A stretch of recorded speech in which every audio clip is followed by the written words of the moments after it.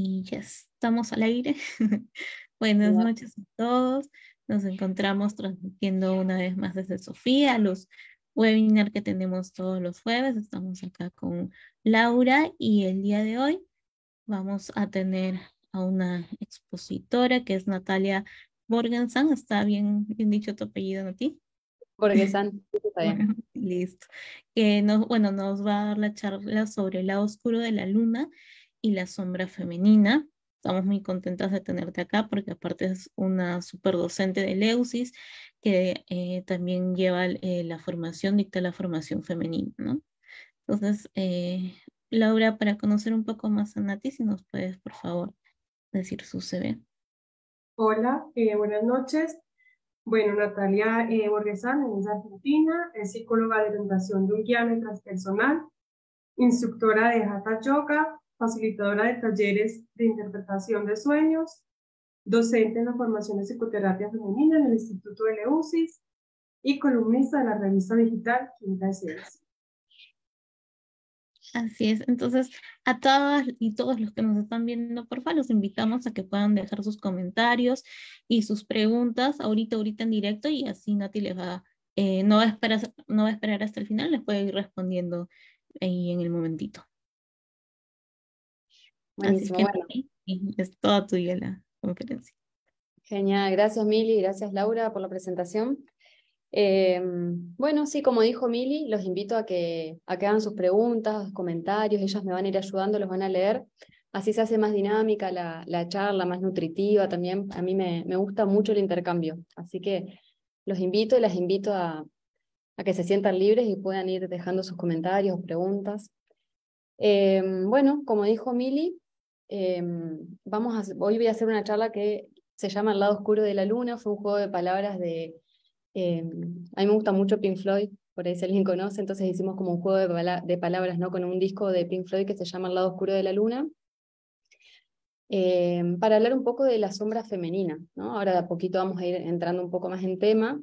Eh, la idea de estos webinars es como hacer una introducción, ¿no? Por ahí siempre hablamos para públicos que bueno, empiezan a introducirse a la teoría junguiana. Eh, comento esto un poco porque si siempre entran probablemente escuchen algunas cosas repetidas, pero bueno, la idea es un poco eh, siempre también hablar a personas que están con ganas de introducirse en esta, de profundizar a la teoría junguiana, eh, que justamente como dijo Mili, estamos, ahora mismo estamos en una formación en psicoterapia femenina. El instituto también tiene un montón de formaciones, ¿no? Tiene la formación en psicología analítica junguiana, nosotras estamos en la parte de psicoterapia femenina y también hay distintas eh, formaciones, ¿no? Hay una formación en arteterapia, bueno, pueden entrar si quieren a la página, mirar un poquito todas las formaciones que hay y eh, bueno, siempre profundizamos ¿no? en, lo que es la teoría junguiana, que se está abriendo cada vez más, ¿no?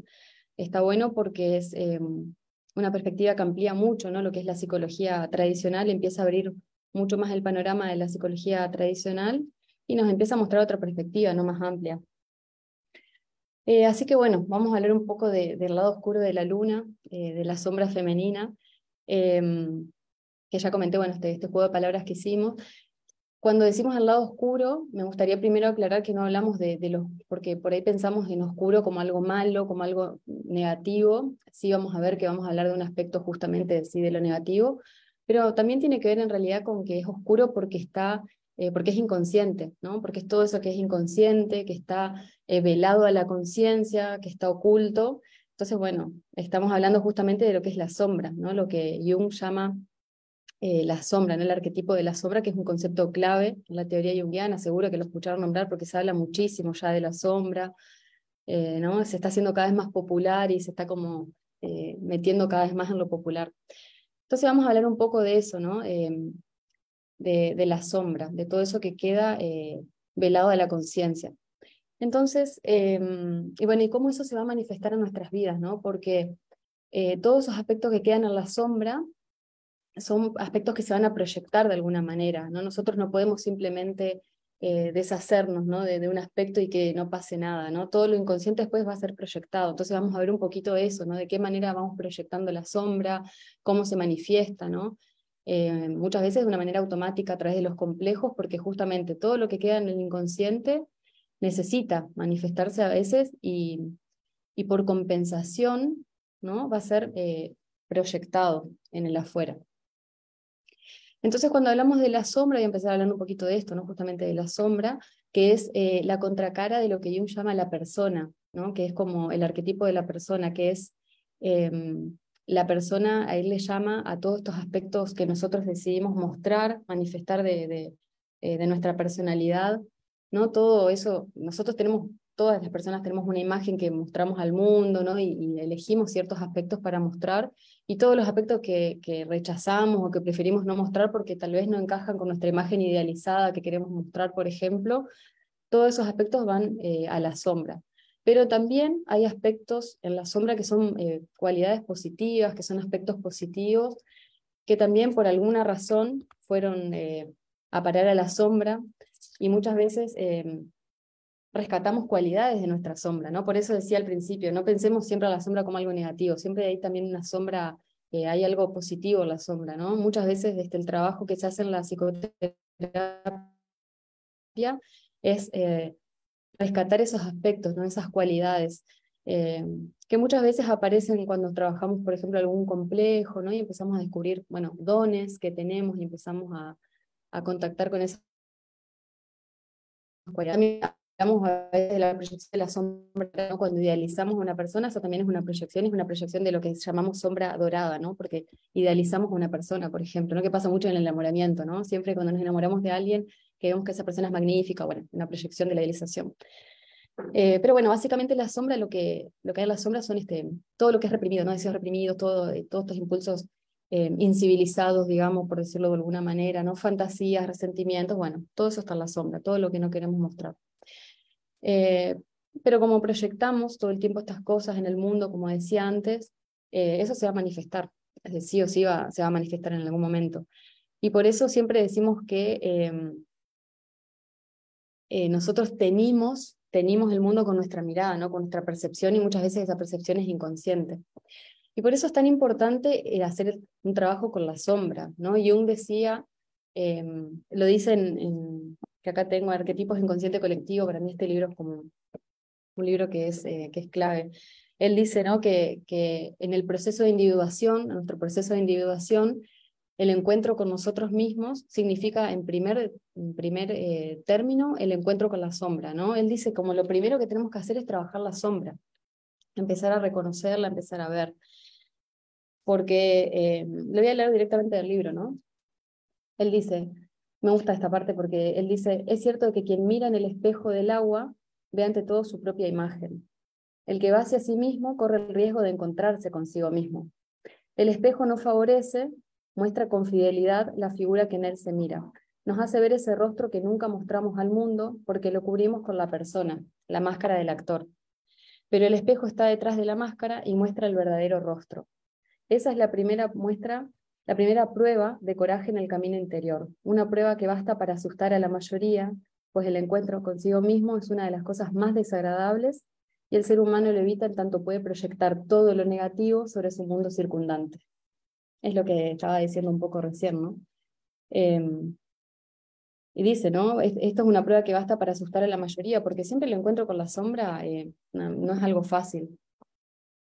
De hecho, este, cuando eh, en la terapia, en nuestro propio análisis, eh, el encuentro con la sombra tiene que ver justamente con ver aspectos que no nos gustan, ¿no? con vernos a nosotras mismas como somos, y muchas veces eso implica empezar a reconocer aspectos que tenemos que, bueno, no queremos ver, ¿no? porque obviamente la psique siempre va a tender al equilibrio, siempre vamos a tender a, a a, tener como una imagen idealizada, las personas solemos tener una imagen idealizada de nosotras mismas, pero también por una cuestión de, de, equilibrio de la psique, ¿no? porque ver aspectos negativos muchas veces implica eh, una cantidad de energía o un desbalance muy grande, depende ¿no? que estemos viendo, pero a veces nos desequilibra de una manera que ahí, por eso uno tiene tenemos mecanismos de defensa contra esas cosas, porque eh, muchas veces eh, no podemos ver ciertas cosas porque nos desequilibra demasiado. Y ahí es donde aparece, bueno, el terapeuta, la terapeuta para acompañar el proceso, para poder ir elaborando, ir integrando esos aspectos, ¿no? Y que no se vivencie todo ese proceso interior de, descubrimiento con la sombra como algo tan eh, desintegrador y tan rupturista, ¿no? Sino que, bueno, ir integrando de a poco todos esos aspectos que, con los que nos encontramos que, bueno, eh, no son nada lindos a veces, ¿no? Eh, por eso es, es, de valientes, digamos, de enfrentarnos con la sombra. Em, así que bueno, les, quería leer un, poco esta partecita porque me parece que es muy, muy claro, ¿no? Y aún cuando habla de eso. Entonces, bueno, eh, tenemos que empezar a reconocer esos aspectos, porque si no los vamos a proyectar. Em, entonces vamos, al trabajar la sombra, vamos asimilando esas proyecciones, ¿no? Y podemos dejar de hacerlo sobre los demás, podemos dejar de, eh, nunca va a ser absolutamente ese trabajo, porque aparte siempre tenemos algo que trabajar, siempre hay algo para ver, pero al menos no vamos a, em, no vamos a modificar tanto, ¿no? no vamos a tergiversar tanto la, la imagen de los demás. Yo antes hablé del enamoramiento, siempre pongo este ejemplo porque me parece muy simple, ¿no? cuando nos enamoramos y la otra persona parece ideal y parece la mejor, y, y cuando empezamos a verle la sombra y empezamos a integrar eso y dejamos de proyectar tanto, vemos a la persona mucho más como es, y ahí, bueno, donde aparece el amor, donde se rompe ¿no? el, el vínculo porque no se tolera la sombra del otro. Eh, pero también siempre hay una, una cuota de proyección de uno, ¿no? porque lo que no toleramos en otro muchas veces tiene que ver con aspectos que no toleramos de nosotros mismos, de nosotras mismas, entonces eh, que esa es una, una parte del trabajo que hacemos a veces. Eh, así que bueno, un poquito, ¿no? Para, para ver un poquito de, la sombra. Eh, y ahora estamos hablando de la sombra femenina, ¿no? De la sombra, de lo que tiene que ver con, con, con la proyección de los aspectos eh, de lo femenino. Y yo pensé en tomarlo para hablar de, bueno, un poco de los complejos, del complejo materno y pensé en tomarlo en relación a em, cuando hablamos, cuando la psicología junguiana se habla de la madre terrible, ¿no? Como de, estos dos aspectos de la gran madre, ¿no? La madre terrible eh, y la madre eh, buena, digamos, ¿no? Por decirlo así. Porque todos los arquetipos siempre van a tener una doble manifestación, ¿no? Entonces, em, cuando hablo de, de em, de, la, de, esto, de, bueno, yo pensé en tomarlo por el aspecto femenino, esto de la madre terrible, ¿no? Eh, por ejemplo, Maureen Murdoch dice, eh, ella en el, en el viaje heroico, así se llama creo el libro, ¿no? El viaje heroico. Sí, algo así, un viaje heroico, ser mujer, algo así, un viaje heroico. Bueno, en ese libro ella habla ¿no? de este aspecto, porque dice, bueno, eh, hace todo un recorrido por, por el tema de, del viaje heroico de la mujer, y dice que existen dos polos de expresión del arquetipo de la madre, ¿no? del arquetipo de la gran madre. Porque por un lado, la gran madre va a encarnar el alimento, la contención, el apoyo, todo lo que es nutricio, ¿no? todo lo que cobija, eh, sin límites, ¿no? es ilimitado, ¿no? ese amor ilimitado, esa protección ilimitada. Y por otro lado tenemos a la madre terrible, que representa todo lo contrario, ¿no? El, asfixia, ¿no? Eh, la, destrucción como la devoración, ¿no? Eh, la muerte, em, el estancamiento, ¿no? Entonces, bueno, tenemos como estos dos polos, y de vuelta lo voy a citar a Jung, que también en Arquetipos de Inconsciente Colectivo habla de esta polaridad, ¿no? Entonces él cuando describe el arquetipo de la gran madre, para hablar después del complejo materno, eh, él dice, ¿no? El arquetipo de la madre tiene una multiplicidad de aspectos, y empieza a hacer una lista, bueno, larguísima, no la voy a contar toda ahora, pero dice, bueno, las formas típicas son, bueno, obviamente la madre, la abuela, la madrastra, la suegra, la niñera, cualquier persona ¿no? que cumpla la función de, mm, materna, ¿no? de cuidado. Eh, bueno, y después cita eh, los aspectos más arquetípicos, ¿no? La Madre de Dios, la Virgen, Sofía, Cibeles, las diosas, ¿no? Que representan a la Gran Madre, que son, que son muchas, que en cada cultura, ¿no? Tiene por lo general una, una diosa que representa a la Gran Madre. Y después símbolos, ¿no? dice él, la universidad, el país, en un sentido más amplio, todos estos símbolos representan la madre, dice él, ¿no? El bosque, el mar, bueno, el mar, la luna, también habíamos dicho antes, ¿no? Veces. Eh, y va a citar, bueno, un montón de aspectos más, el horno, la olla, em, la matriz, todo lo que es hueco, ¿no? Todo lo que es hueco, todo lo que es receptivo, siempre pensemos, ¿no? En esto de lo femenino como algo receptivo, ¿no? Y estos símbolos tienen, pueden tener un aspecto positivo o pueden tener un aspecto negativo, ¿no? Un aspecto, eh, ese, ese es el aspecto se va a expresar en, ciertos, en ciertas figuras, arquetipos, ¿no? Como a veces la representamos como la bruja, pero maneras que, que puede la cita también, el la cosa devoradora, la figura del dragón muchas veces, ¿no? Esta cosa de devoración, de eh, cuando la madre tiene este aspecto, ¿no? De la madre devoradora, que asfixia, que no deja que, que el hijo, la hija pueda desplegar las potencialidades, ¿no? Que ahí hay todo un aspecto complejo materno que es bastante complicado, porque, bueno, son esas madres que justamente eh, no permiten esto, no permiten el despliegue de la personalidad, el desarrollo de los hijos, y esa es una proyección que hace la madre, justamente, de esto femenino, ¿no? Porque está proyectando su sombra y no, dejando que eh, sus hijos, sus hijas puedan desplegar su personalidad. Eh, bueno, ya que dije que soy eh, fanática de Pink Floyd, que me gusta mucho, crecí escuchando Pink Floyd, es un ejemplo que por ahí queda un poco viejo, medio obsoleto, pero bueno, a mí me gusta igual. ¿no? El de Wall, el disco de Wall, siempre está esta imagen de esta, esta figura que es Pink, ¿no? que tiene su madre sobreprotectora, que bueno, es una madre que tiene esta cuidad, ¿no? es una madre terrible, que no deja que despliegue su potencialidad, una madre que, que es este, sobreprotectora. Em, de hecho, en, la película de Wall, ¿no? ella aparece como justamente el muro que lo está como eh, acorralando al hijo, ¿no? Eh, son, es una de las madres que se manifiesta esto negativo en lo que se proyecta ¿no? sobre los hijos, por ejemplo, en este caso. Em, y bueno, Jung habla de esto, ¿no? Empieza como a enumerar como las características de, lo materno, ¿no? Que tiene como estas dos polaridades, como decíamos antes. Lo protector, lo bondadoso, lo que cobija, lo que cuida o lo que puede destruir. Y em, esto después eh, el complejo, el complejo materno. Em, Cualquier cosa, Mili, si, hay algún comentario o algo, interrumpime, ¿eh? yo no tengo problema, porque si yo me pongo a hablar, y, pero interrumpanme, no, no tengo ningún problema. O sea, alguna pregunta, algún comentario, porque prefiero hablarlo en el momento que se esté diciendo. A ver. Hace un Así no queda colgado. Ah, dale. Sí, hace un momentico, eh, Carito Elizabeth preguntó, una consulta cómo podemos trabajar la sombra y cómo podemos integrar los aspectos que no nos gusten. ¿Y cómo podemos integrar los aspectos, que no nos gustan? Ah, bien. Sí, está buena esa pregunta.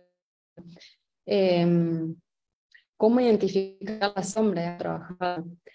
La verdad que obviamente es muy difícil eh, discernir cuando estamos proyectando una, justamente al ser inconsciente, eh, hablamos mucho siempre de lo inconsciente, ¿no? Como eso también se hizo tan popular, ¿no? El inconsciente, lo inconsciente, y hablamos mucho, pero realmente hay que darle, eh, o sea, tiene una entidad, ¿no? el, inconsciente es eficiente, o sea, se manifiesta y, no lo vemos, no nos damos cuenta, entonces es todo un trabajo justamente. Eh, pero cuando una persona ya empieza a hacerse preguntas, ¿no? Cuando algo nos, nos hace un, clic, algo nos, eh, de repente una actitud que siempre tenemos, de repente ya nos empezó a llamar la atención por algo, ¿no? Decimos, no, pero esto que yo siempre hago, no, no, ¿por qué hago esto, no? ¿Por qué? Eh, eso es cuando naturalmente, ¿no? O, alguna situación nos hace tener un insight, como, bueno, despertarnos, ¿no? Porque por eso hablamos del despertar de la conciencia, ¿no? Despertar la conciencia es cuando nos empezamos a cuestionar a nosotros mismos. Eh, y muchas veces el trabajo empieza así, ¿no? Eh, empieza como por un cuestionamiento de decir, bueno, a ver, este, yo realmente estoy tan bien como pienso, o sea, con hacerse como una revisión, digo yo, ¿no? A veces, este, eh, por ahí parece una cuestión medio voluntarista, ¿no? Que a veces, bueno, es todo un tema, el, tema de la voluntad, pero muchas veces sí, ¿no? Las personas empezamos a, revisarnos, a preguntarnos, y, eh, ir integrando la sombra, pasa que es todo un trabajo, ¿no? Es un trabajo que, lleva tiempo, porque, como yo decía antes, cuando empezamos a ver aspectos que no nos gustan, muchas veces, por ejemplo, una, una manera de darnos cuenta que estamos proyectando la sombra en los vínculos, ¿no? Estaba pensando un ejemplo más concreto, es cuando nos molesta muchísimo a alguien eh, algo que hace, ¿no? Cuando, pero cuando tenemos una sobrereacción, hablando de complejos, cuando nos damos cuenta que, que, que algo nos tocó un complejo. Esta es una forma de darnos cuenta. Porque hay una sobrereacción. Hay una sobrereacción. Cuando alguien me dice algo, eh, me hace un comentario, no sé, de mi ropa, ¿no? Me dijo algo de mi ropa o algo de, cómo estoy, cómo está mi pelo. Tiene que ser algo muy sencillo, ¿no? O me miraron de una manera y, e, eso simple, algo muy simple, muy sencillo, a mí me hace estallar, me hace sobre, tener una sobrereacción, es muy probable que esté tocando un complejo, es muy probable, es lo más seguro que se esté tocando un complejo, porque uno dice, bueno, pero no le dije nada y mira cómo se puso. Bueno, seguramente ahí está pasando algo y hay que revisar qué complejo se activó, ¿no? O qué complejos se activaron, porque cuando Jung habla de, la teoría de los complejos también es un eje central de la teoría junguiana, es el eje central de la teoría junguiana. De hecho, la teoría junguiana se iba a llamar, la psicología se iba a llamar psicología de los complejos, una psicología compleja por la teoría de los complejos. Eh, y somos, eh, decimos que somos un cosmos complejual, ¿no? Porque cuando se activa un complejo se van a activar varios complejos al mismo tiempo, porque no es que se me activa solo el complejo materno, el complejo materno se relaciona con el complejo paterno y con todos los complejos que yo tenga, y el de abandono y el de inferioridad, y bueno, y se activan diferentes complejos y se van como también, este, em, entre ellos se van como nutriendo, digamos, y, se arma todo un, lío, digamos, ¿no? Y es una forma de darnos cuenta cuando tenemos una sobrereacción, eh, que bueno, la mayoría de las personas, uno se pone, yo reacciono, me pongo a la defensiva, si yo no me pregunto nada sobre mi reacción, y voy a seguir igual, hasta que algún día tal vez diga, bueno, ¿por qué reacciono así? ¿Qué me pasó? Eh, eh, ¿Me tenía que poner tan mal por algo así? Y bueno, eh, esa es una forma ¿no? que se me ocurre ahora que, que, puede ser clara. No sé si, si le respondí la pregunta, si le queda claro, si quiere preguntar algo más. también en los sueños, si, si están conectados con sus sueños, con su mundo onírico, en los sueños muchas veces eh, se manifiesta la sombra, ¿no? Algo, los sueños muchas veces, eh, el inconsciente nos manda un sueño para mostrarnos que hay algo que no estamos como pudiendo ver y muchas veces aparece la sombra, de muchas maneras, pero eh, yo doy talleres de interpretación de sueños y es verdad que muchas veces los animales suelen manifestar algo de la sombra, no siempre, no, no siempre porque no quiero que eh, que piensen, bueno, si apareció un animal es la sombra, pero muchas veces yo sí lo tengo visto, por lo menos en los talleres de sueños que yo di, que cuando aparece un animal muchas veces está representando, representando un aspecto de la sombra de la persona. Y si no, bueno, va a depender de, qué, qué, aspecto de la sombra se está manifestando en el sueño, pero también en los sueños hay mucha información sobre la sombra, ¿no? Eh, bueno, eso, es un poquito. Em, yo estaba hablando ahora del... Bueno, voy a seguir un poco con esto, que, ya empecé a hablar de los complejos, que igual era, un tema que, que, iba a seguir este, desarrollando. Em, muy rápidamente, esto que comentaba, ¿no? Los complejos cuando se activan somos un cosmos complejual. Y los complejos son estructurales, no es que es algo malo, porque también la palabra complejo es muy popular, se hizo popular después de esto, no es como, ay, qué acomplejado que sos, qué complejo que tenés, no, bueno, es por esto, ¿no? Eh, pero son estructurales, o sea, constituyen la psique, no es que es algo malo, ¿no? sino que el, complejo siempre va a estar. De hecho, hay complejos, hay una autora, que es una autora que trabajamos en la formación en psicoterapia femenina, que se llama eh, Verena Cast, y ella habla, por ejemplo, de, de esto, ¿no? Ella habla de los complejos eh, maternos positivo y negativo, los complejos paternos positivo y negativo, y dice, ¿no? Son estructurales. También existe el, complejo materno positivo, cuando funcionó, cuando el vínculo funcionó, cuando fue bueno, ¿no? Ahí yo pienso en la psicología humanista, porque que era esa psicología que también hablaba de esto, ¿no? Bueno, las cosas que sí funcionan, lo bueno, porque eh, por lo general tendemos a pensar siempre como en lo malo, en lo negativo, y bueno, hay, hay complejos maternos positivos, ¿no? Que estructuraron bien la psique, que, que, em, que, lograron, se logró un buen desarrollo, ¿no? Que se pudo como elaborar eh, de una manera que, que fue eh, positiva, que fue...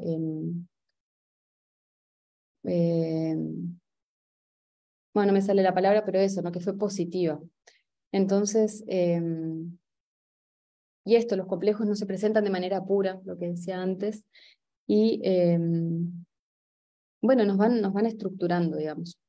Y los complejos se constelan, se constelan en una, en una temática, digamos, ¿no? Como que se ponen en marcha a, partir de una temática. Por eso hablamos del complejo materno, todo lo que tenga, en relación, que tenga que ver en relación con lo que es la función materna. Y ahí ya cuando hablamos de función materna, siempre tenemos que pensar que esa función la puede ejercer, la ejerce por lo general la madre, pero eh, la puede ejercer cualquier figura eh, de cuidado, ¿no? Una niñera, eh, de repente si la madre biológica no estuvo presente por la razón que sea, el padre, muchas veces el padre cumple más la función materna que la madre, ¿no? No es que simplemente no hay que asociar función materna a la figura de la madre, sino que a cualquier persona que cumpla con esa función. Y el complejo se va a constelar eh, en eso, en experiencias que nos van a recordar las situaciones que tienen que ver con un complejo, ¿no? Entonces, este, tiene que ver con una temática. En este, en este caso vamos a hablar del complejo materno. Y em, por eso la sobrereacción va a tener que ver con esa temática que está constelada en el complejo, ¿no? Entonces, si me mirar, entro en un lugar, en un grupo, eh, llego a un grupo y de repente, no sé, nadie me saluda porque no me vieron y yo ya pienso que me están dejando de lado, ¿no? Que eso sería una sobrereacción también y tengo toda una sobrereacción y, y empiezo a tener toda una, capaz que empiezo a decirle cosas a las personas que están ahí, bueno, seguramente se activó un complejo, ¿no? En materno, en relación al abandono, el complejo de abandono, y bueno, y ahí eh, la respuesta siempre es estereotipada, es automática. Cuando, te, cuando se activa un complejo, la respuesta es una respuesta automática. Eh, porque supuestamente nos ayuda como a...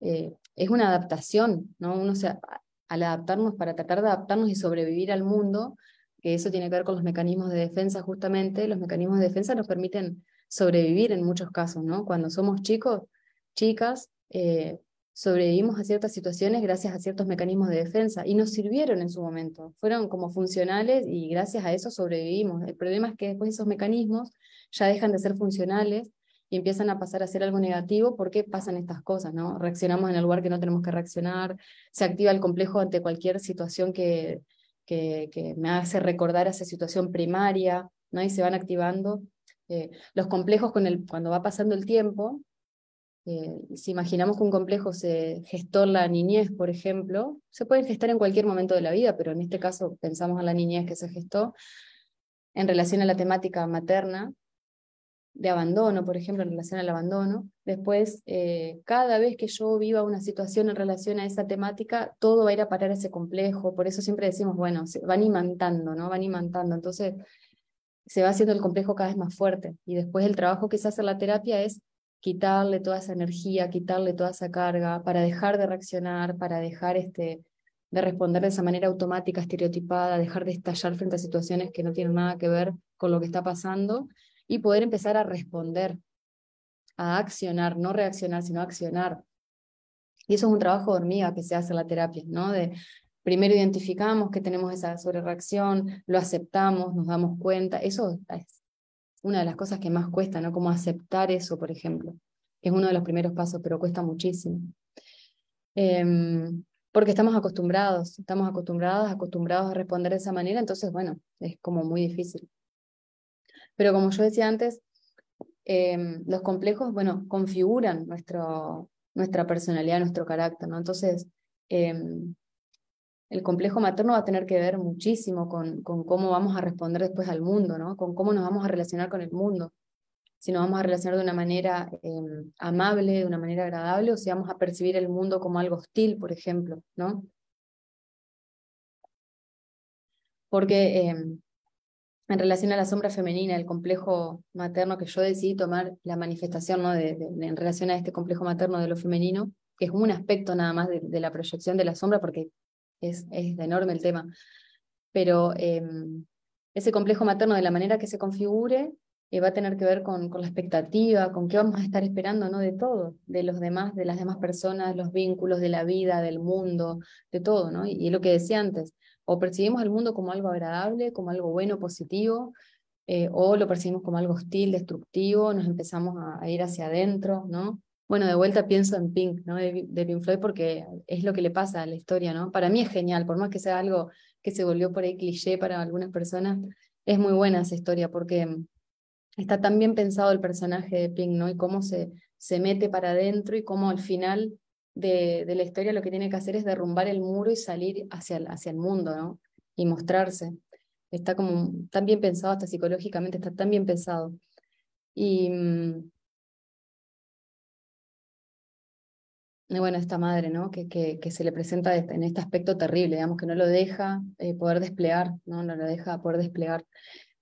Entonces, eh, ahí está el trabajo, ¿no? Muchas veces, eh, Jung dice, Maureen Murdo creo que, creo que ella también lo dice, que eh, para la hija, mujer, suele ser más complicado, ¿no? El, el, el despegarse de la figura de la madre, porque justamente está esa necesidad de identificación, porque al ser mujer una se identifica con la madre y la toma como modelo, Y cuando no puede tomarla como modelo la madre, empieza toda esa, ese, ese tema ¿no? en el interior, ¿no? bueno, mi mamá no es mi modelo de mujer, ¿no? que lo escuchamos un montón, ¿no? no quiero ser como mi mamá, que es una de las salidas del complejo materno que va a nombrar Jung también, ¿no? esta cosa de no quiero saber nada con mi mamá, quiero ser todo lo contrario.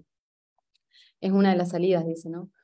Em, entonces dicen ellos que ah, muchas veces es más complejo para la mujer que para el hombre, ¿no? porque el hombre lo que tiene que hacer es... Em, bueno, para identificarse con la figura del padre, justamente es más fácil para él, ¿no? Que tener como que apartar esos, esos aspectos de lo femenino en su interior. Mm. Hola Natalia. Por acá tenemos dos preguntas.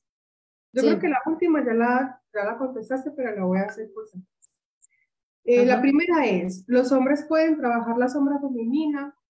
Que es bien interesante. Y la segunda es, ¿de qué manera se activan los complejos y de qué manera podemos sobrellevarlos o trabajarlos? Ajá, sí, buenísima, igual las dos preguntas. Perdón. Sí, la segunda ya la respondí un poco, pero igual, por las dudas, si no quedó claro, no sé si la preguntaron antes o después, pero por las dudas. Em, e, eh, la clave para mí en los complejos es la sobrereacción, como sobrereaccionar, ¿no? O sea, de repente le decimos a una persona, alguien que nos cocinó algo, ¿no? Nos cocinó algo y de repente uno sin querer dice, ay, le falta sal a esto, ¿no? Y la persona estalla, ¿no? Y parece que, parece que el comentario la ataca a la persona, ¿no? Como que la persona se siente atacada, que, eso es lo que pasa con los complejos, ¿no? Uno hace un comentario y bueno, si hay una sobrereacción, siempre es frente a algo que no... Eh, la sobrereacción es siempre frente a una situación, una palabra, algo que, es desproporcionada, se entiende, ¿no? Eso es importante, porque a veces uno estalla y realmente está, alguien está ejerciendo violencia, ¿no? Entonces hay una reacción porque alguien ejerce una violencia. Cuando es un complejo, es desproporcionada la respuesta. Una persona estalla frente a algo que uno dice, pero ¿por qué estalló por esto, no? Que no, nadie está haciendo nada. Ahí seguro que se está tocando un complejo, casi seguro. Eh, así que sí, eso es un poco lo que he dicho antes. Y después la otra pregunta que está, está muy buena, que es muy interesante, sí. Sí, obviamente que los varones, los hombres también pueden trabajar la sombra de lo femenino, claro, porque justamente eh, cuando hablamos de, lo femenino y lo masculino, eh, son aspectos que todos tenemos en el interior, ¿no? son aspectos que todos tenemos, femenino y masculino. Eh, justo recién yo hablaba del complejo materno y estaba dando este ejemplo que Jung dice, ¿no? También, bueno, es más fácil, es más difícil capaz para, para la mujer, que Maureen Murdo también lo dice, ¿no? trabajar el complejo materno por toda esta cuestión que yo estaba explicando recién, ¿no? de la necesidad de la identificación con la madre, y bueno, se empieza a complejizar mucho ahí. Eh, pero el hombre sí, obviamente que va a tener que trabajarlo. Y ahí, bueno, hay que empezar a revisar la historia, ¿no? Cómo fue el vínculo con, con la madre, con las figuras que hayan aparecido. Eh, y hay que ver también el padre, ¿no? Porque yo, lo que decía antes, tal vez eh, a veces se cruzan, ¿no? O sea, la, figura, porque hay personas que dicen, no, pero que lo he, escuchado también en la terapia, ¿no? Em, que tal vez el padre ejerció más la función materna que la madre, ¿no? Porque no necesariamente, por eso yo decía, las funciones no tienen que ver con el sexo, no es que la función materna la ejerce la madre, la función materna la ejerce cualquier persona que estuvo en la crianza de la persona, que estuvo en la crianza. Entonces, puede ser el padre, cualquier persona. Y los hombres sí, eh, claro que tienen que trabajar también este aspecto, ¿no? Pasa que, bueno, culturalmente, es interesante la pregunta, porque culturalmente el hombre tiene más, em, como más velado eso, ¿no? Cada vez menos, pero bueno, es como que el hombre tiene como un poco más velado el tema de, de, de, todo lo que es el trabajo interior en relación a lo femenino, porque bueno, el patriarcado, ¿no? El machismo. Y acá pienso también en algo que, que estoy relacionando ahora que digo, eh, ojo con a qué le decimos sombra, ¿no? Porque la cultura también empieza a establecer, ¿no? ¿Qué es la sombra? Entonces, de lo femenino. Entonces ahí hay que tener cuidado también porque eh, hay que pensar siempre en las épocas, ¿no? En las épocas, en, cuáles eran las, en, la cultura, qué predominaba la cultura, en el machismo, hay que pensar en el patriarcado, porque, por ejemplo, eh, se puede decir una cultura que una mujer que es libre con su sexualidad o sexualmente, bueno, se la trata como una puta, ¿no? Dice, y en realidad es una mujer libre sexualmente, que está experimentando eh, libertad en relación a su sexualidad. pero cuando la cultura empieza, es machista y cuando el patriarcado bueno, estableció ciertos parámetros, la sombra podría eh, de hecho en, otro tiempo la sombra fue eso, ¿no? La mujer era una puta, sí, era libre sexualmente, y eso no era la sombra, es que la cultura está tomando como sombra algo que, bueno, que está rechazando, que es la libertad de la mujer en la sexualidad, por ejemplo. Eh, bueno, me fui un poco por las ramas respondiendo, pero eh, porque fui relacionando, ¿no? Los aspectos de la sombra eh, está bueno tener en cuenta siempre la cultura, porque ahí cuando vamos a distintas culturas también vamos a ver, bueno, qué pasa con lo femenino en cada cultura, ¿no? ¿Qué es la sombra de lo femenino? Y hay que empezar a hacer un discernimiento también, por esto que acabo de decir. De repente tomamos un aspecto como sombra, o la cultura toma un aspecto como sombra, que ahí está la sanación colectiva, ahora justamente de, del lado femenino, ¿no? Bueno, que aparecen los movimientos feministas, ¿no? Después, bueno, se puede eh, se puede discutir si está bueno o no está bueno el movimiento feminista, eso, más allá de eso, aparece, surge el movimiento feminista eh, como una respuesta al patriarcado, ¿no? Surge como esta respuesta de, bueno, eh, frente a la falta de libertad de ciertas cuestiones, como por ejemplo la sexualidad. Em, eso, ¿no? Pero bueno, volviendo un poquito para atrás, esto de que Em, la gran madre no es siempre la, madre buena, ¿no? que también está este aspecto, bueno, devorador, negativo. Lo, encontramos, por ejemplo, en los mitos o en los cuentos a veces puede aparecer como, se manifiesta como la malvada, como la madrastra, ¿no? Por lo general es la madrastra, ¿no? Que eh, pensemos, por ejemplo, en Cenicienta, ¿no? En los cuentos como Cenicienta aparece la madrastra, la malvada, como eh, personificando ese aspecto, ¿no? De devorador, ese aspecto como, ¿no? Que le tiene celos, por ejemplo, es una manifestación de la sombra de lo femenino, ¿no? Le tiene celos a Cenicienta y las hijas de ella también, ¿no? Le tienen muchos celos a Cenicienta eh, por, bueno, por su belleza, ¿no? Hay una proyección de la sombra, ¿no? De lo femenino que se manifiesta ahí en los cuentos de esa manera, por ejemplo. Em, porque quiere ser como, como ella en realidad, ¿no? Ahí está, ahí está lo interesante es ver eso, ¿no? Que a veces le pasa a muchas madres con las hijas también, ¿no? Ven a sus hijas libres, tan libres como ellas no pudieron ser, porque tal vez los padres la, eh, no les permitieron ser libres, y entonces, bueno, eh, se ponen a eh, rivalizar con la hija, ¿no? Y muchas veces esas madres, esto también lo dice Maureen Murdoch, muchas veces esas madres tienen un comportamiento pasivo-agresivo con la hija. Entonces, tal vez em, no, no muestran su agresión, no son agresivas, pero tienen un comportamiento pasivo-agresivo. Tal vez eh, la hija, no sé, se vistió de una manera eh, linda, seductora, y tal vez le hacen un comentario como un poquito, ¿no? Parece un comentario lindo, pero no se entiende si es tan lindo el comentario, como comportamiento pasivo-agresivo, ¿no? Eh, o frente a la libertad de la hija también, ¿no? Como hacer comentarios o, o, de repente no acompañar en el proceso. Y ahí también hay una proyección de la sombra, ¿no? De esta, de coartando, ¿no? por eso todas estas imágenes que aparecen a veces también de la proyección de, de esto femenino como lo devorador, como esto de, ser tragado por el vientre, ¿no? De el volcán, ¿no? Un volcán que estalla y como que eh, va como consumiendo todo alrededor, ¿no? Son como distintos eh, símbolos de eso. Em, pero no nos olvidemos que está el otro aspecto también siempre, ¿no? Y por ejemplo, en las culturas como la India solemos asociar también ese aspecto de la madre terrible como Kali, ¿no? Como la diosa Kali, que es esa, ese aspecto como de, es la esposa de Shiva, ¿no? Que es como, el dios Shiva también tiene un aspecto destructor, ¿no? Es, es un, eh, es un dios que destruye para construir, ¿no? Destruye para crear. Eh, tiene también esa, esa ambivalencia. Eh, y Cali también, pero bueno, Cali es como, tiene un aspecto muy, muy protector, muy amoroso y a la vez es un aspecto sanguinario de ella, ¿no? Cali, bueno, Cali tiene muchísimos aspectos, pero cuando hablamos de la madre terrible, la tomamos como ese aspecto, ¿no? De, una madre eh, así, terrible, ¿no? Sanguinaria. Eh,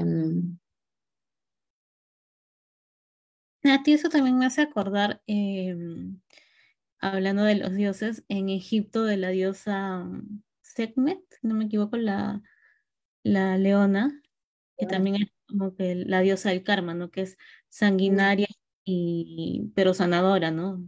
O sea, va, cumple con lo que es la justicia, el karma, pero esa justicia, supuestamente ese karma te lleva a sanar, ¿no? Dentro de la línea del, combinando del Dharma sería, ¿no? Ah, mira qué bueno, qué lindo. Sí, sí, tal cual.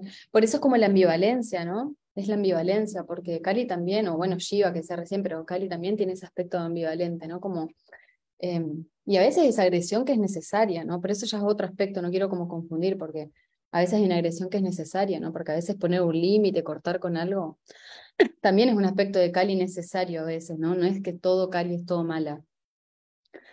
Eh, claro.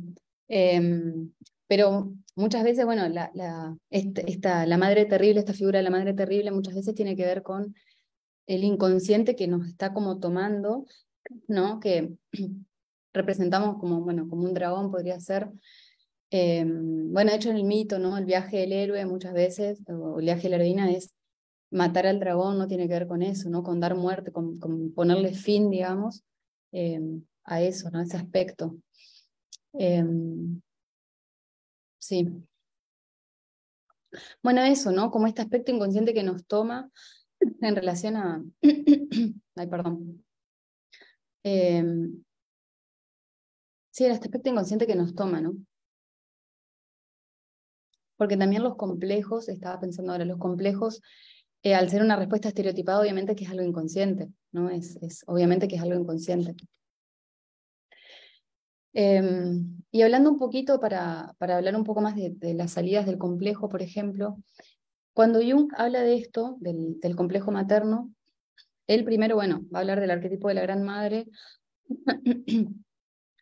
y em, eh, va a decir que, bueno, que este arquetipo, porque, a ver, los complejos, es lo que dice que el complejo siempre tiene un núcleo arquetípico, ¿no? Entonces, en el, núcleo del complejo materno estaría la gran madre. El arquetipo de la gran madre sería como un núcleo del complejo, eh, para el que no sabe, ¿no? El, núcleo del complejo materno. Entonces, eh, esto es lo que, que, se va a proyectar después. Entonces, el trabajo que hacemos es el trabajo este de deshacer las proyecciones que yo decía antes, ¿no? Y cuando trabajamos esto en la terapia, algo importante es eh, no invalidar los contenidos, ¿no? Porque la proyección, a ver, cuando aparece algo, eh, ¿cuál es la diferencia de ir a una terapia y de hablar algo con un amigo, ¿no? Que muchas veces uno dice, ay, no, pero si lo hablo con un amigo, no, no, obviamente que no va a ser lo mismo, que es algo que se escucha a veces, ¿no? Pero además esto de invalidar, ¿no? Porque la idea de estar en, un espacio terapéutico es que justamente podemos expresar las cosas que sentimos como las sentimos, porque algo importante de, los complejos, por ejemplo, cuando estamos haciendo un trabajo, es que em, es más importante la vivencia, o sea, lo que se tiene en cuenta es la vivencia, ¿no? Porque muchas veces eh, los pacientes cuentan algo, dicen algo con respecto a la, a la madre que no coincide, ¿no? Con la figura real de la madre, ¿no? O sea, de repente empiezan a hablar de, la madre y no coincide con la figura real. Esto sí es importante porque acá aparece el aspecto arquetípico de lo que es el complejo. Este es el aspecto arquetípico que es lo que se proyecta, ¿no? Ahí, ahí aparece el arquetípico. A veces es como un poco complejo entender esto, pero de a poco se va como internalizando. Em, está la madre real, la madre física, la madre de carne y hueso, y se le proyecta lo arquetípico. ¿Cómo sería esto, por ejemplo? Bueno, cuando le idealizamos a la madre, le proyectamos un aspecto de arquetípico de la Virgen María, ¿no? Como, ah, mi mamá es la mejor del mundo, eh, nunca se equivoca, es eh, ilimitado su amor y no, se le puede encontrar un defecto, ¿no? Y, eh, son pacientes que, bueno, hay que tratar de decir, bueno, pero tu mamá algo tiene que tener, ¿no? No, no tiene nada, es perfecta, ¿no? Hay una proyección de la idealización ahí, ¿no? De lo arquetípico es la Virgen, ¿no? La Virgen María es la Madre de Dios, no tiene ningún, eh, ninguna mancha, ¿no? Es inmaculada. Y de lo contrario, ¿no? Una madre terrible, devoradora, que es lo peor del mundo, que tiene todos los defectos, que es la peor madre, que jamás contuvo nada. Y ahí el trabajo, ¿no? A veces es, bueno, no tienen absolutamente nada bueno, tu mamá, nada. Eh, son como dos ejemplos, estoy poniendo dos ejemplos totalmente eh, para que se entienda bien, como dos ejemplos bien extremos, ¿no? De, lo que sería como proyecciones. Y ahí está proyectada una imagen arquetípica, bueno, de una Cali destructora, ¿no? Una madre terrible Cali destructora, ¿no? Em, y bueno, a veces coincide, a veces la madre real de carne y hueso tiene esos aspectos y a veces no a veces ahí está el tema del trabajo arquetípico, que es lo más complejo, ¿no? Cuando se da esta parte, ¿no? Porque poder reconocer esa proyección a veces es lo más complejo, ¿no? Que, que la persona no coincide realmente con eso que se está proyectando. Em, por eso, bueno, eh, no, hay que confundirnos las figuras arquetípicas y sí, con las personas de referencia, ¿no? con los padres, con la madre real. Y además, por eso no hay que invalidar, ¿no? porque por más que no coincida, cuando invalidamos lo que la persona dice, lo que dice el paciente, no permitimos que pueda elaborarlo, justamente. Esa es la diferencia, ¿no? Un aspecto de, de ir a un espacio terapéutico de no ir. Cuando invalidamos lo que la persona siente, no le permitimos elaborarlo. Y es muy necesario en el proceso permitir la expresión totalmente libre de lo que siente la persona. Después solo se va acomodando, que no era tan así, ¿no? La persona sola dice, bueno, pero yo dije todo esto de mi mamá y, y, no es tan así, en realidad no, es, no fue tan mala. Y se empieza a poco a ir integrando y se empiezan a, a matizar y se empieza, ¿no? Cuando se hace un buen trabajo, se va acompañando el proceso, ¿no? Lo ideal es cuando pasa eso, ¿no? Que uno dice, bueno, no fue todo malo, no fue, o no fue toda buena, como me hizo pensar a mí, y eso es como lo más, no se puede ir como logrando una imagen más completa, ¿no? Como se va como completando, eh, y eso es sano, ¿no? Porque eh, si no, em, también con nosotras mismas pasa, ¿no? Con, con cada persona, ¿no? Ni todo bueno ni todo malo, ¿no? Como los dos aspectos. Estamos como experimentando la dualidad, ¿no? En yoga se, hablamos de eso, ¿no? Que estamos experimentando el mundo de la dualidad, como bueno, lo que se dice es que venimos de una unidad y acá nos polarizamos y estamos en el mundo de las polaridades, ¿no? Experimentando los dos polos. Eh, y eso también, ¿no? Por eso Jung dice, bueno, cuando algo eh, queda en el inconsciente se va a manifestar afuera y esta es la compensación de la psique, ¿no? Por eso le dice, bueno, la psique se autorregula. Yo mando algo al inconsciente, pero en algún momento me viene en un sueño, me lo muestra el sueño, se manifiesta, entonces aparece por la necesidad de compensación de la psique de que se autorregula. Cuando yo me hiperpolarizo hacia un lado, va a aparecer el otro polo de alguna manera. Entonces, para todo, siempre para tratar de regularse, ¿no? La psique. Em, entonces, bueno, en la, terapia lo que hacemos es eso, vamos como deshaciendo esas proyecciones, vamos como haciendo todo ese trabajo, em, porque bueno, lo arquetípico tiene ese potencial, ¿no? Entonces, eh, lo podemos proyectar hacia afuera y armamos un lío, o em, o lo vamos integrando a poco y vamos este, eh, asimilando esos aspectos para poder estar como más, eh, no proyectarlo y empezar a tener una imagen no tan disociada ¿no? de la realidad, justamente, no proyectarlo sobre la madre, sobre el padre, y es cuando aparece la paz, ¿no? un poco más de la paz con esas figuras, que es lo más complejo, ¿no? Em, y es súper importante, ¿no? Obviamente, hacer ese, ese trabajo interior porque eh, el trabajo, bueno, el trabajo de los complejos materno y paterno eh, son, son clave, ¿no? Son como dos claves, también dos ejes de la vida de todas las personas, porque eso va después eh, a significar la forma de relación con el mundo en general, la forma de relacionarnos con las demás personas, la forma de relacionarnos con el mundo, la forma de vincularnos con, con, con todo en general, ¿no? En el trabajo, cómo nos vamos a manejar, qué expectativas vamos a tener, eh, y lo que decía al principio, ¿no? El mundo es un mundo hostil o es un mundo que yo me siento protegida y, puedo ir afrontando lo que pasa porque, bueno, sentí que, estuve cuidada o siento que esto en cualquier momento eh, se viene todo abajo, por las dudas me voy a estar defendiendo de todo porque, bueno, ahí estuvo el complejo, algo pasó en ese complejo materno que no funcionó y hay algo que está, que se genera una ruptura interior y bueno, está esa sensación ¿no? de, bueno, en cualquier momento acá se viene todo abajo, por las dudas me voy a defender. Eh, y después los terapeutas también, está bueno tener claro esto porque también muchas veces se proyecta algo no resuelto, un terapeuta podría ser este, tratar de, todo el tiempo, eh, ya, ya ser terapeuta es algo que tiene que ver con, con la función esta de proteger, de cuidar al otro, ¿no? Es algo que tiene mucho que ver con esa función materna. Y si no está bien resuelto, también podría ser una, se podría proyectar eso sobre los pacientes, por ejemplo, ¿no? esa sombra, y decir, tratar de querer resolverle todo al paciente, ¿no? No, no poder soportar el dolor de un paciente, querer resolverle todo, no, no tolerar que se enfrente con el dolor, lo estoy exagerando tal vez, pero, pero sí también es una forma de, de proyección de esa sombra, ¿no? que podría darse en un terapeuta, por ejemplo. Eh, por eso es tan importante ¿no? aprender a ver esos aspectos para tener la menor cantidad de puntos ciegos posible, ¿no? Como decía Freud, ¿no? Los puntos ciegos que puede tener el terapeuta. Cuando tenemos un punto ciego, no podemos ver eso en los demás. Y ahí podemos eh, estancar el proceso de un paciente, por ejemplo, ¿no?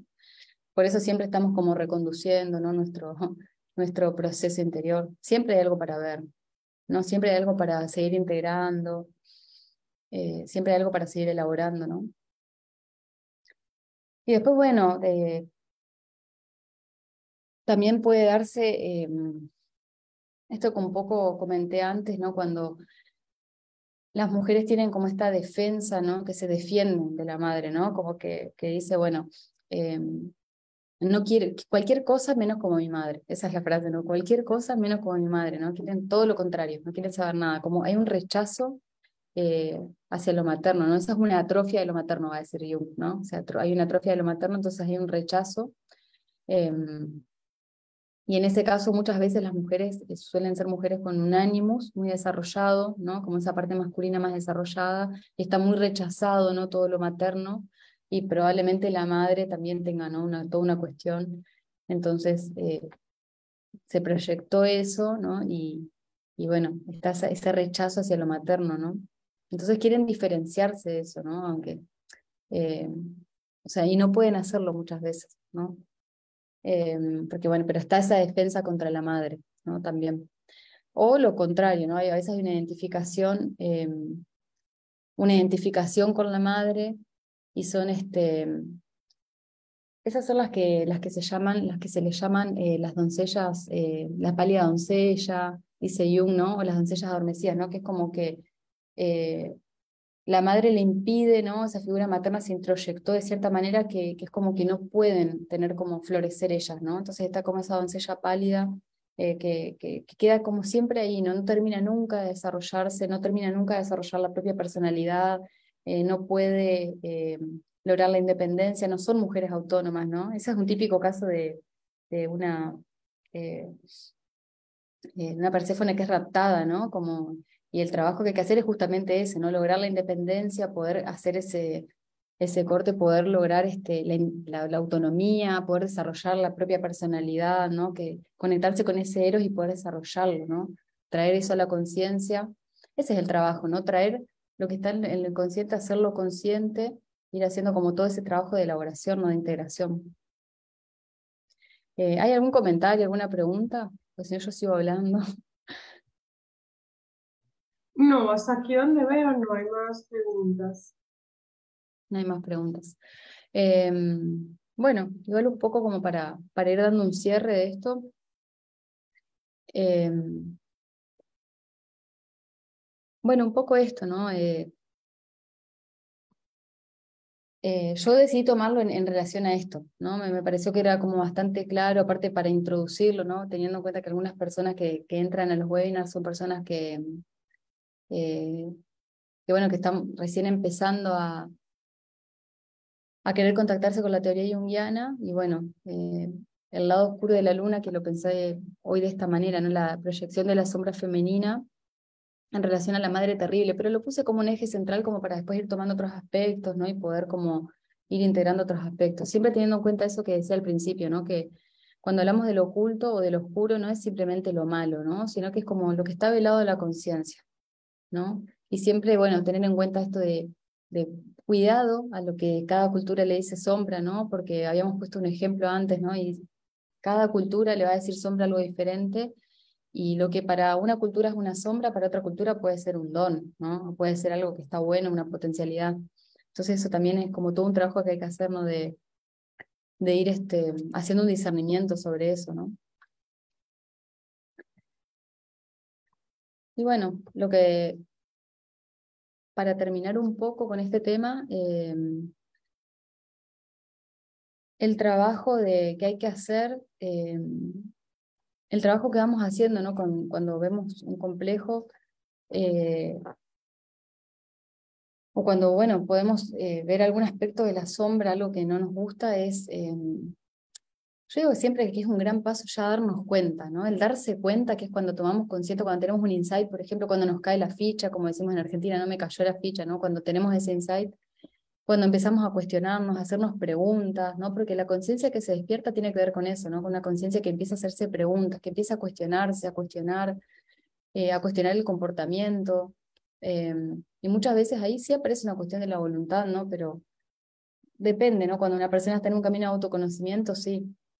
Bueno, en yoga le damos mucha importancia a la voluntad, ¿no? Justamente al desarrollo de la voluntad, eh, a la disciplina, pero obviamente que eh, no quiero que esto se confunda porque, a ver, lo inconsciente no, no es una cuestión voluntarista, justamente, ¿no? Porque al ser inconsciente, pero muchas veces sí, este, aparece un cuestionamiento, ¿no? Por alguna situación, algo nos hace despertarnos. A veces como un misterio, ¿no? Porque no sabemos por qué de repente algo que siempre, una situación frente a la cual siempre respondemos de la misma manera, de repente nos empieza a hacer ruido, ¿no?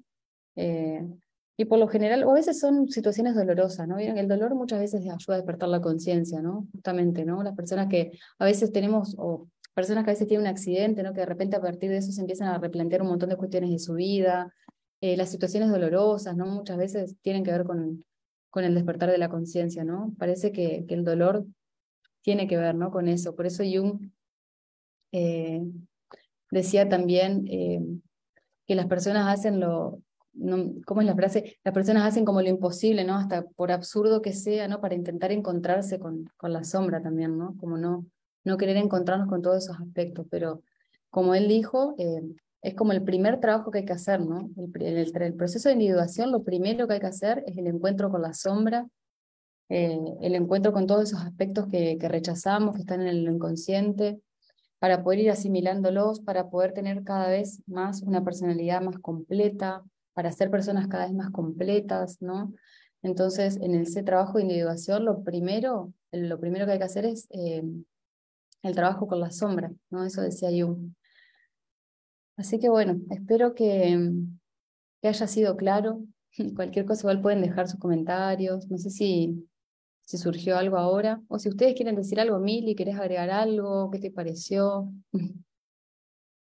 Ah, bueno, a mí eso sí primero, el título que le pusiste, a mí también me gusta, Flores, y así es que es súper chévere, ¿no? Y el poder explorar, ¿no? La sombra femenina. Y la pregunta también que hicieron si es que el, el hombre puede ir trabajando esta parte de la sombra femenina, ¿no? Es muy bueno. A veces se piensa de que solo la mujer puede trabajar lo femenino y el hombre lo masculino y ahí queda, ¿no? Pero justamente está como que esa parte más enriquecedora, la, contraparte, ¿no? Esa polaridad eh, que existe, ¿no? Entonces sí, es como que ese tema es así muy, muy relevante, ¿no?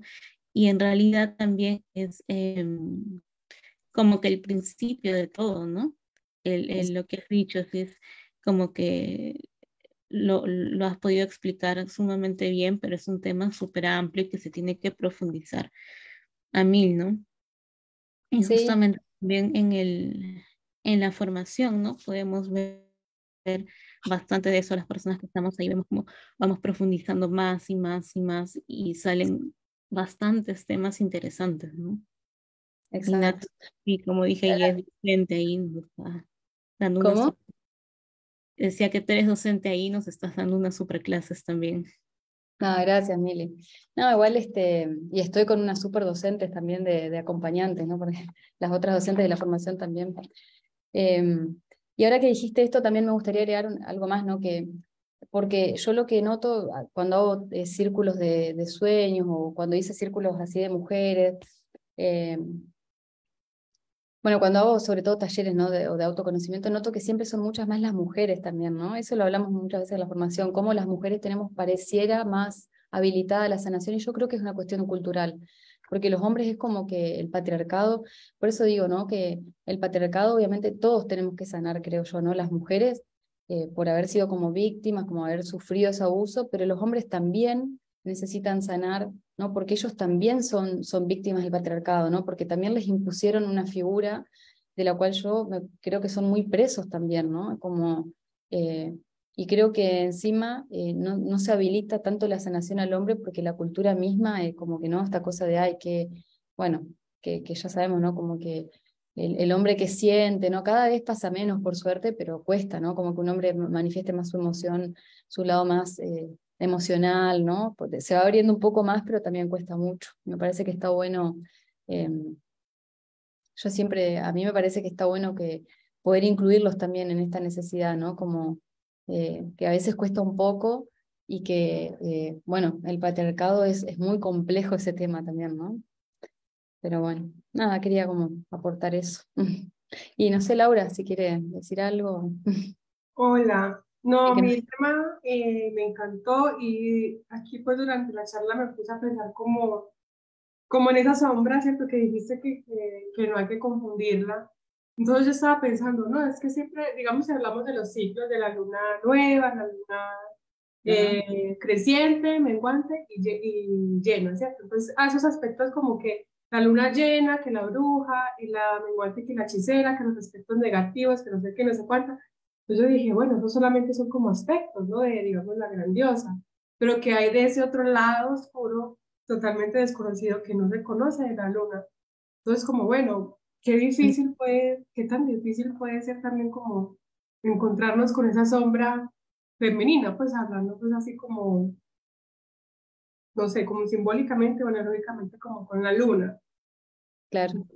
Bueno, sí, mira, no, pero está buenísimo lo que decís, porque ahora me quedé pensando, eh, primero la bruja, que yo la nombré al principio y ahora vos la traes, y también la bruja es una figura compleja, porque en muchas culturas, la, bueno, de hecho es un aspecto rechazado de la mujer, ¿no? que la bruja en realidad eh, fue tomado por la cultura como algo, ay, qué malo, es una bruja, ¿no? pero también está la bruja en el sentido de los poderes de la mujer, ¿no? la, mujer como una bruja en el sentido de una mujer poderosa, con, eh, que tiene un montón de capacidades que están buenas, por eso digo, ojo con la sombra y a qué se le llama bruja, porque si vamos a la Inquisición, en realidad fue un rechazo justamente a lo femenino. Ahí tenemos una sombra colectiva, ahí tenemos una, una manifestación de, de cómo se rechazó lo femenino, ¿no? Cuando se quemó a las brujas, se las llamaba brujas a las mujeres, ¿no? Y se les hizo temer a lo femenino, ¿no? A la, cultura, la cultura hizo temer lo femenino, ¿no? Ah, son brujas, ténganle miedo porque son malas, y bueno, y eso llega hasta el día de hoy.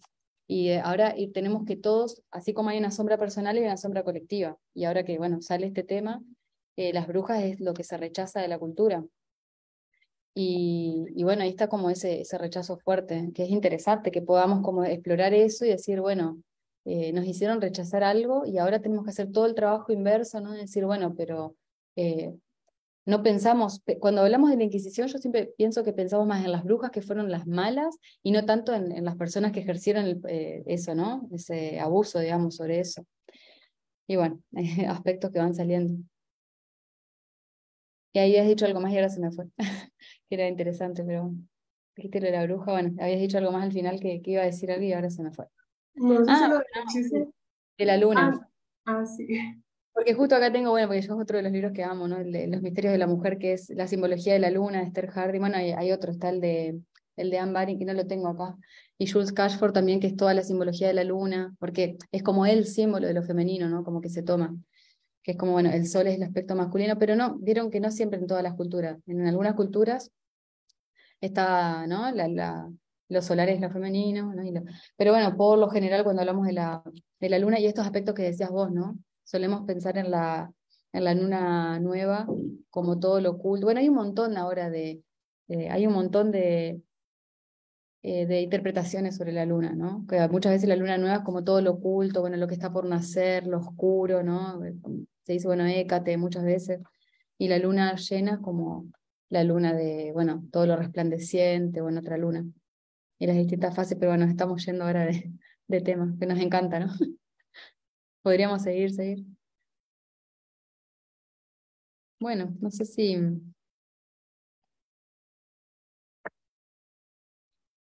si quieren agregar algo más o... Ahí estamos, solo queda, Nati, agradecerte por la charla y también invitarlos, bueno, a la siguiente formación ¿no? virtual femenina que está empezando el 13 de mayo.